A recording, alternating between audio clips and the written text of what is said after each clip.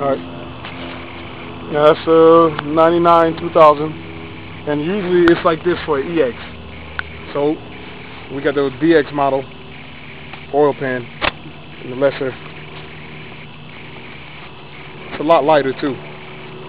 That's thick aluminum, that's thin aluminum. That's the gasket. You see that? Big difference.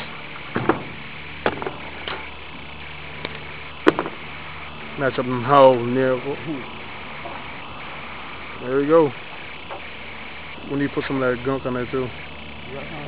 No, I don't have any. You have to put some uh, gasket there. Just throw it on there. You Brush it on me. Usually, I'm gonna hit turn it around. Turn it around the other way. That way. Okay, No, no, no, no, the other way. Uh, Yeah, there you go. Yeah, that's how it's gotta go. See it? Alright.